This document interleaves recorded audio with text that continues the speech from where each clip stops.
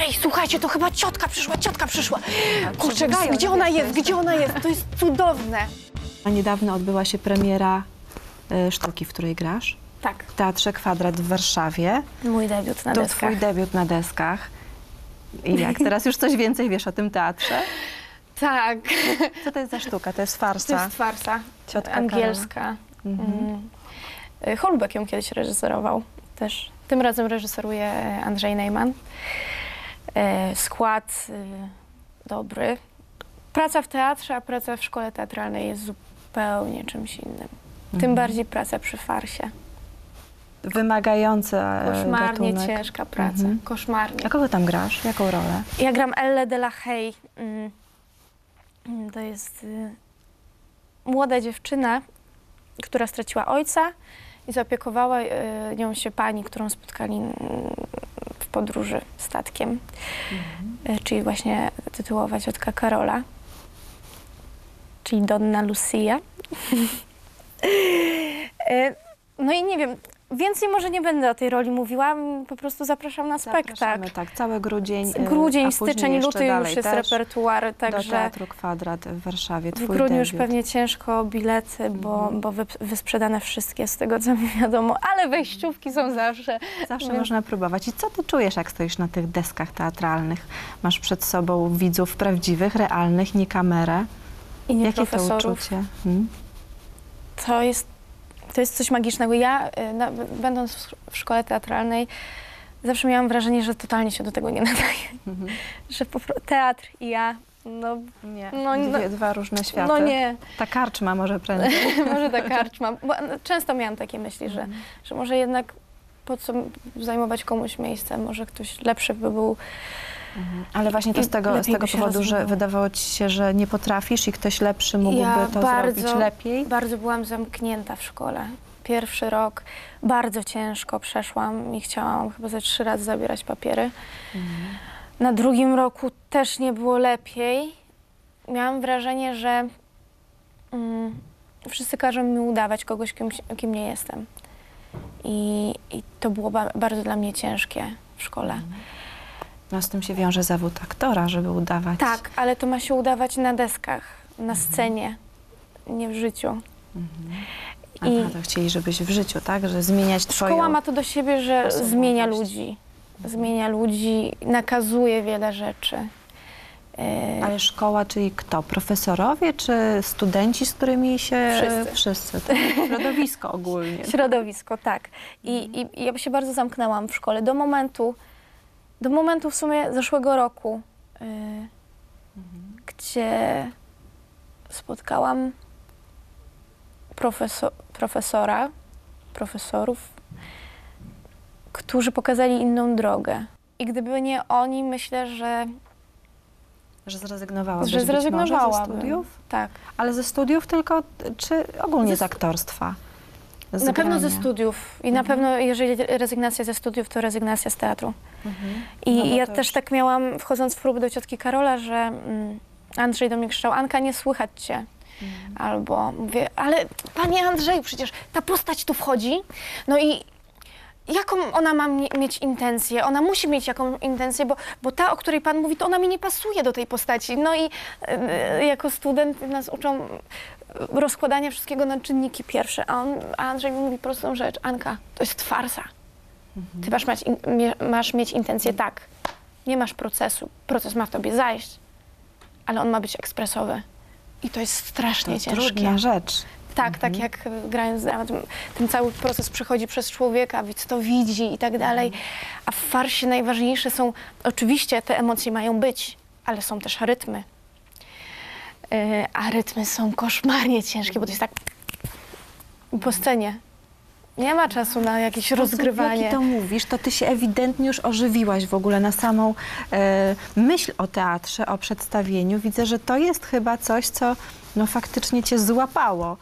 Y, Tak, ja myślę, że w ciotce z- złapałam bakcyla. Jest on magiczny. Magiczni są ludzie przede wszystkim.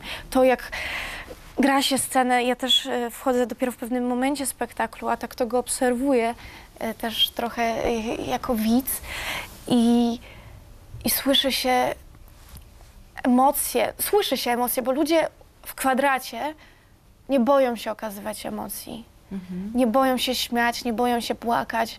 Jak jest pewien moment, w którym wszyscy nagle robią o, to jest tak urocze, to jest tak piękne. Albo gdy e, wchodzę ja z Donną Lucią, zaczy, e, zaczynają słyszeć nasze głosy bo, i robią Ej, słuchajcie, to chyba ciotka przyszła, ciotka przyszła.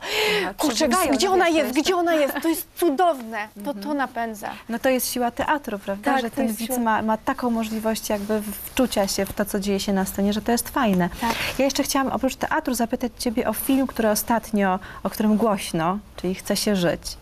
Niesamowity, fantastyczny, ym, absolutnie rozwalający emocjonalnie. Naprawdę jeden z chyba z lepszych, jaki ja ostatnio przynajmniej widziałam. Mówię tu za siebie, aczkolwiek recenzje też zbierał dobre. E, Teraz wygrał też mm, parę nagród pod rząd. w sumie. nagród troszeczkę zdobył. E, fantastyczna praca. Skąd ty się tam wzięłaś też? Też to był casting i A, to a wszystko się propos tego odbyło po... przeznaczenia, to, też właśnie to jest historia. Y, ja wzięłam udział, zanim Ma, y, Maciek robił film, w etiudzie studentki y, z Katowic, zresztą przezdolnej, y, Joasi Ślesickiej, pod tytułem Zapalniczka i opiekę nad... Oni mają tak, że z tego to jest egzamin tak jakby. I różni reżyserzy sprawują opiekę nad tym. I akurat nad Zapalniczką sprawował opiekę Maciej Pieprzyca. I on, on tam pomagał nam w pracy. No i potem dostałam zaproszenie na zdjęcia próbne do, do Właśnie Chce się żyć. Tyle, że ja miałam lat, to było po pierwszym roku studiów, czyli już miałam dwudziestkę. Ty już za stara szukał- byłaś? On szukał szesnastek, siedemnastek. No i ja przyszłam na ten casting, y, był Dawid, Szapoba Przed Dawidem, tak? z Dawidem, ogóle sz, szalona praca. No i zagraliśmy scenę na ławce, która potem była w filmie. A miałaś do, y, do czynienia z ludźmi chorymi? Czy jakby ten, czy Dawid właśnie, Ogrodnik, y, jakby on stworzył tą postać i ty, ty, ty czerpałaś z niego? Czy wcześniej miałaś kontakt? Bo wiem, że Dawid miał kontakt z y, Tak. ludźmi chorymi, I ja, niepełnosprawnymi. ja, jeżeli chodzi o, o tą chorobę, nie miałam, ale mm, ja mam brata ciotecznego, który ma chorobę Downa. Y, mam znajomą, która była sparaliżowana po wypadku. Mm, jeździ na wózku, teraz w drugiej ręce już jakąś tam sprawność odzyskała. Także to było dla mnie normalne. Moja mama też y, jest pielęgniarką. Pielęgniarką. Miałaś ten kontakt z E, chorymi. Z często. chorymi, Mhm. przeróżne choroby. Mhm. E, Mama pracu, pracuje na gruźlicy, więc e, i, i anorektyczki, e, i, Mhm. i troszkę Takie choroby psychiczne i alkoholicy. Mhm. Y, Także to, jeżeli chodzi o spotkanie z chorobą, to takie spotkania już miałam w życiu i, i jakoś nigdy I się nie bałam. w, w jakiś sposób w odegraniu tej roli? Tym emocjonalnym Mm, kontakcie Myślę, że osobą? tak. Przynajmniej nie miałam tego. Wiele ludzi boi się osób chorych i e, woli odwrócić wzrok. Mhm.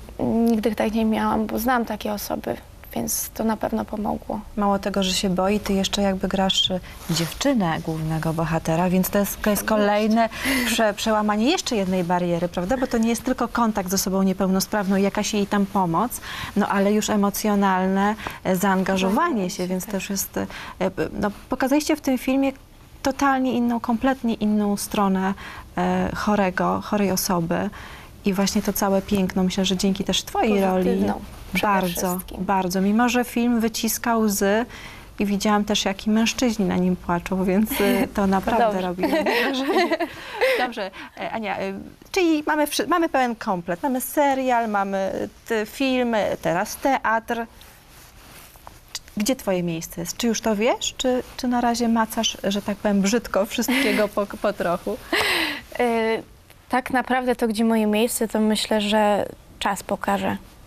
To są dopiero początki. Ja myślę, że też wiele nauki przede mną i e, każda nowa rzecz oczywiście uczy i ja poznaję trochę siebie przez to, bo, bo człowiek w sytuacjach ekstremalnych najbardziej się uczy o sobie samym. Em, Zobaczymy, to są dopiero początki. już Twoje nazwisko, Twoja osoba zaczyna być coraz bardziej rozpoznawalna. Już pierwsze wzmianki, już w internecie można Cię wygooglować i się pojawiasz na ściankach wszelkiego rodzaju. O nie, E, nie. No, no dobra, okej, może nie na nie. wszelkiego. No właśnie, jaki masz do tego stosunek? Do ścianek. Do ścianek, do E, tego całego życia e, takiego na, na świeczniku, bo to Cię poniekąd czeka, jeżeli wejdziesz w ten zawód. Niekoniecznie. Nie? Myślisz, że da się tego uchronić? Nie, oczywiście wielu aktorów y, y, tak nie robi, znaczy nie, Mhm. nie chodzi na imprezy. I Ja sobie powiedziałam już dawno temu, jest parę sytuacji, w których oczywiście będę na ściance. Po pierwsze, jeżeli to jest moja premiera. Mhm. po drugie, jeżeli to jest em, premiera, idę wesprzeć przyjaciela, przyjaciółkę. Oczywiście będę. Y, a po trzecie, jeżeli to coś wnosi, to znaczy, jeżeli to jest na przykład impreza związana z, mm, nie wiem, walką y, z, z rakiem piersi. Mhm, czyli coś, co ma byłam. może pomóc. Tak, co może pomóc, że to, że ja tam pójdę i zrobią mi zdjęcie, e, coś wniesie, coś pomoże, że, że ktoś zobaczy, ktoś się zainteresuje, ktoś pomoże, przeleje pieniądze na konto. E, to okej. No i oczywiście festiwale filmowe. Dobrze, Ania, to się wszystko nagrało. Żebyś miała tego świadomość. No, Za będzie 10 przypał. lat otworzysz sobie DVD i zobaczymy, na ile dotrzymałaś słowa, że, że tylko w takich sytuacjach. Dobrze, co cię, co cię wiąże z aktorem Kamilem Kulą? E, przyjaźń, koleżeństwo. Razem gramy w spektaklu teraz. Nie jesteście razem, Nie. bo to jest teraz główny temat y, plotkarskich serwisów. Nie, nie, Nie? jesteśmy. Musiałam zadać to pytanie na koniec. Żeby nie, bo też, żeby nie było, spotykaliśmy się. Aha, byliście Spotykałam się, się, się z Kamilem, ale nie jesteśmy razem. Y, Ale bardzo się lubimy i gramy ze sobą, bo gramy Mhm. i ze sobą w Hotelu 52 i, i gramy ze sobą teraz w Teatrze Kwadrat, także, także myślę, że uczucie między nami, Czy jesteś przyjaźń wolna? została. Poczekaj, czekaj, bo to też jest ważna informacja teraz dla twoich fanów. Tak, tak. Ja Jestem do wzięcia, jesteś single. Nie wiem, czy do wzięcia, ale no, na razie to jest czas dla mnie i ja chciałabym sobie poświęcić, sobie poświęcić czas przede wszystkim, bo całe życie poświęcałam go komuś. Super. Fajna puenta tej rozmowy. Dziękuję Ci bardzo. Ania Karczmarczyk była moim Państwa gościem bliżej Kwiat. Dziękuję. Dzięki.